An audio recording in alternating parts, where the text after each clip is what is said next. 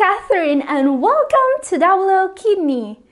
2020 will be a very significant year for people suffering from kidney disease. We have never been so close to several medical breakthroughs that will forever alter human history. What if someone with end-stage renal disease could still get an organ from a donor relative even if the tools are not compatible? What if an app could turn your cell phone into a testing lab for kidney disease? And what if 3D printed organs could solve the shortage of kidneys for transplantation once and for all?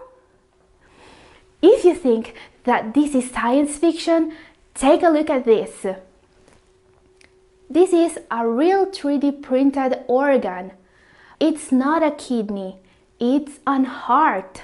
And it's even beating by its own. This is not a rendering generated by a computer. It's something that some amazingly bright doctors and researchers have been working on and that could change the lives of millions of people, especially those suffering from kidney disease. In 2020, medicine may make all this possible for kidney disease patients and more. So get ready to see all the mind-blowing medical breakthroughs you might just see in 2020. This and more in today's video. Ready to see which treatments are around the corner? Number 5 is 3D printed organs. Scientists today are really close to growing functional 3D printed organs and kidneys for transplant in the lab. But the biggest remaining challenge has been creating the fine networks of blood vessels required to keep them alive, especially the functioning units of the human kidney, the nephrons, seems pretty difficult to replicate. Now, researchers have shown that a common food dye could solve the problem. Incredible! Before we look at this breakthrough, let's understand a little bit better the technology behind 3D printed human organs. Only in the US, more than 100,000 people are currently waiting for an organ on one of those endless transplant waiting lists. If you are one of them, you may know very well what I'm talking about. The other problem with organ transplant is rejection. This is not an if, it's a when type situation all the transplanted organs go through a rejection process. And this is why after an organ transplant, you will need to take anti-rejection drugs for the lifetime of your transplanted organ. These drugs are there to prevent your immune system from attacking the donor organ. That's why scientists have long dreamed of growing new organs from patients' own cells, which could at the same time tackle the organ shortage and the risk for rejection. Just imagine this for a second. Instead of having to wait years for a kidney that your body will eventually reject anyway, you could just ask your doctor to get you a custom built one that will last you a lifetime. Now, the field of tissue engineering has seen plenty of progress lab-grown skin has been medically available for decades and more recently stem cells have been used to reproduce more complex biological tissue. Perhaps the most exciting development, though, has been the introduction of 3D printing technology which promises to bring incredible breakthroughs in the field of lab-grown organs. Yes, just like this plastic model that I've just 3D printed with my own printer in my garage.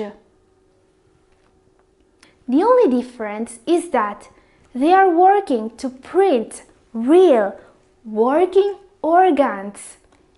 So-called bioprinters are already being used to create organelles for scientific research. And there have been some impressive proof of concepts for full organs. Now I'll show you something really incredible. Take a look. This is an actual mini heart beating on its own. Researchers from the Wyss Institute at Harvard University have already proven that they are capable of 3D printing organs with functionality similar to those in the human body. The 1.5 centimeter mini heart kept beating on its own for more than a week. The team 3D printed this mini organ using heart-derived cells as ink. These cells were arranged in the heart-like structure that you see here. Now, as you can see, this mini heart is actually beating by itself, mimicking the key features of a human heart. But how did they do it? This technology is called 3D bioprinting. Just like consumer-grade 3D printers, where plastic material is deposited in layers for forming the structure we want, 3D bioprinting uses a typical layer-by-layer 3D printing method.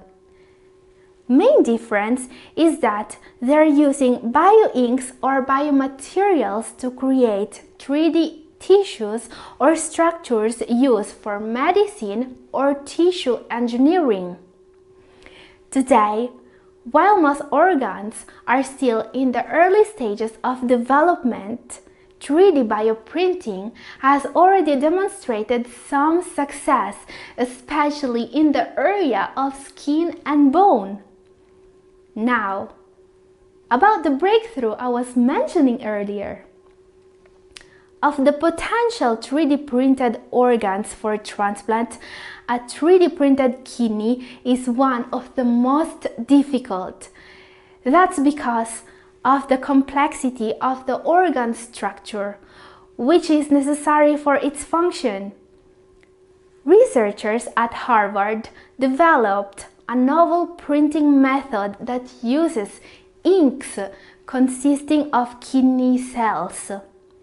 Thanks to this novel ink, the research group has been able to recreate part of the nephron, the functional unit of the kidney. Incredible! The nephron is responsible for filtering the blood and it's what gives the kidney all its functionalities.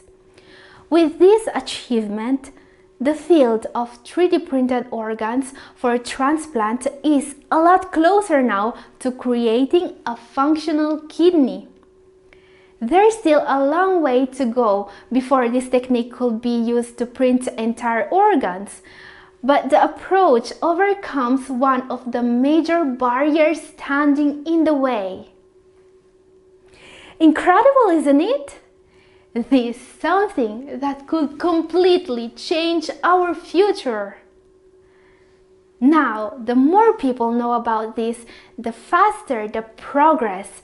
So, send this video to anyone you know who could be interested in one of the biggest medical breakthroughs we could see in this decade. And this was our number 5 the other four breakthroughs on our list are even more incredible. Ready to see them? Number four is an app on your phone.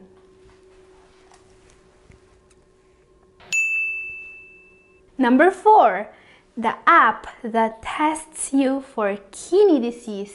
Wouldn't it be great if there was a way to get tested for kidney disease as simple as taking a selfie? Well, this is what a digital health startup from Israel promises. Everyone with kidney disease knows this. An early detection for kidney disease is as important as hard to obtain and it makes an enormous difference in avoiding complications from kidney disease. But unfortunately, kidney disease shows no symptoms until it is in the advanced stages, making early detection really uncommon. Now, this all can change with this innovative app. Getting tested for kidney function will be as easy as taking a selfie. But how does it work? According to the National Kidney Foundation, 30 million Americans have chronic kidney disease. 30 million! That's one in nine adults. More than 510,000 kidney patients are now on dialysis, and over 100,000 are on the kidney transplant list. I always talk about these numbers because they are so incredible. The worst part is that so many of these cases of kidney disease could have been prevented if only diagnosing this disease wasn't so hard. But this disease has no symptoms until it's in an advanced stage and the only way to get an early detection is to go through a series of lab tests. To face this problem, an Israeli digital health startup called Healthy.io has developed this incredible app to test people for protein in the urine. Let's consider that protein in the urine is basically the first sign of damage to the kidneys. So people who are at risk for kidney disease, like those suffering from hypertension or diabetes, will be able to get tested in a very easy way. This new urinalysis test uses disposable strips, just like an at-home pregnancy test. The difference is that it also needs a smartphone camera to read and interpret results. Patients dip a stick in a self-collected urine sample, wait for it to develop, and take a picture of it against a card using the company's app. The image is anonymized and put on the cloud for more detailed diagnostic tests. According to the firm producing this test, it was cleared by the FDA and considered substantially equivalent to lab-based testing. Its use is actually authorized by healthcare professionals at the point of care. So, the regulatory clearance makes it possible for pharmacies urgent care centers and health clinics to perform the test. Today, Healthy.io's products are already available in Israel and the UK. And our number three, a new regenerative medicine that promises to help improving kidney health using a low frequency electromagnetic field. And it is PEMF. What is PEMF? It stands for Pulsed Electromagnetic Field. Devices that use this technology emit electromagnetic waves at different frequencies with the aim of stimulating and encouraging the body's natural recovery process. This technology is not completely new. It has even been used by NASA to help mitigate bone loss and muscle atrophy in astronauts. Now, maybe you're wondering how PEMF technology can benefit your body when other electromagnetic fields, like those produced by microwaves and X ray machines, are harmful. According to PEMF expert Dr. Gary Ryan, known as the Energy Doctor, and I'm quoting Frequency and duration make all the difference. The waves created by PEMF devices occur in brief bursts and are very low frequency, like the electromagnetic waves found in nature. He also claims that these low frequency waves are able to alleviate symptoms like pain, fatigue, and even inflammation. Now, the part about inflammation, in my opinion, is really interesting for people suffering from kidney disease. A developer of non-invasive electromagnetic field treatments called Endonovo Therapeutics Inc is actually starting a preclinical study to assess the therapeutic potential of this technology in preventing and reversing inflammation and fibrosis in kidney disease. The study is the first of several currently planned studies targeting inflammatory pathologies of renal origin, including acute kidney injury and diabetic nephropathy. This is what the CEO of the company says about the technology.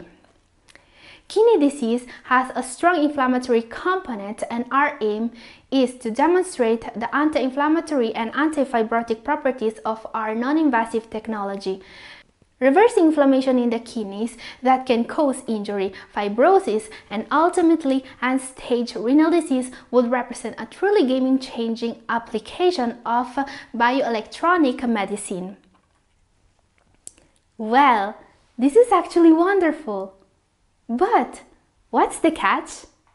Today, this technology has produced some results in reducing pain and inflammation but unfortunately, there are very few serious studies about it. There is, however, a randomized, double-blind, sham-controlled clinical trial that sheds some light on the real effectiveness of this therapy. Patients with either chronic pain or inflammatory pain were exposed to a PEMF through a portable device fit to their head during twice daily 40 minutes treatments over 7 days. So basically, in this study, some patients with chronic pain were given this PEMF treatment while others were given a fake treatment to see if PEMF was actually working or if it was just placebo effect. The results, an effect of PEMF over the fake treatment was noticed in patients with chronic pain and this effect was significant enough to be recorded. So the treatment can actually work, at least to treat chronic pain. You can read the study by yourself if you like. The link is in description. The only problem with this study is that it was done on very few people. But according to the researchers, PEMF may be a novel, safe and effective therapeutic tool for use in at least certain subsets of patients with chronic non-malignant pain. To put it in other words, this treatment may work to treat pain and when appropriately researched, there's even a chance that it will be able to help people with kidney disease. Let's keep our fingers crossed. Now our number two is even more interesting because it is something that's already in place to help people suffering from end-stage renal failure. Actually, this could change the lives of a lot of people in need for a kidney transplant. It's the kidney swap program or paired kidney exchange. What is a paired kidney exchange and how is it helping people in need of a kidney transplant to find compatible organ donors? It's really difficult for people in need of a kidney to find a compatible donor, and this is something that can help bridge the gap. If you are in need of a kidney, or if you know someone who has tried to donate a kidney to a relative or to a friend, you may already know how difficult it is to go through this process. Actually, even if you have someone who wants to give you a kidney or to whom you may want to give a kidney to, there is no guarantee that in the end the donor and the intended recipient will be a match. The blood type can be already an unsurmountable barrier. If there is no compatibility, there is no match. But there are many other issues that can also affect a donor's compatibility, making things even harder. To overcome those problems, an increasing number of kidney donors and recipients are turning to paired kidney exchange. A paired kidney exchange, also known as a kidney swap, occurs when a living kidney donor is incompatible with the recipient and so exchanges kidneys with another donor recipient pair. Let's see an example. Here, this is an example. We have two donors and two recipients. Donor 1 and recipient 1, husband and wife, are not compatible because of the blood type. So they exchange kidneys with donor 2 and recipient 2, brother and sister. This way, wife 1 will get a kidney from sister 2 since they are compatible. And brother 2 will get a kidney from husband 1. So basically, a paired exchange allows will be recipients with willing yet incompatible donors like a spouse or brother to match up with other donor recipient pairs in the same situation. So, a kidney pair donation transplant enables two incompatible recipients to receive healthy, more compatible kidneys. It also helps other individuals who would otherwise continue to wait for a match donor. All medically eligible donor recipient pairs may participate in the paired kidney exchange program. Now, this may look really easy on the paper, but it doesn't work at all if there aren't enough donors on recipients in the pool. So in my opinion, even if it's not totally a news, it's still worth talking about this program and letting more people know. Actually, this program is still expanding and growing exposure and awareness of this donation option has largely driven the increase. Time for our number one now. The artificial implantable kidney developed from the Kidney Project team at the University of California, San Francisco has just achieved a key milestone during preclinical trials. They are working on a device that could eliminate the need for dialysis since it will be able to perform the same function of a human kidney. Scientists have successfully implanted a prototype kidney bioreactor containing functional human kidney cells into pigs without significant safety concerns.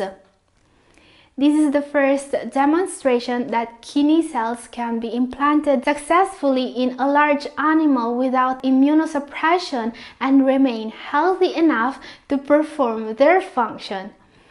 This is a key milestone for us, said Kidney Project co-lead Shuvo Roy. To know everything about the artificial implantable kidney, watch this video now. Thank you for watching. See you there.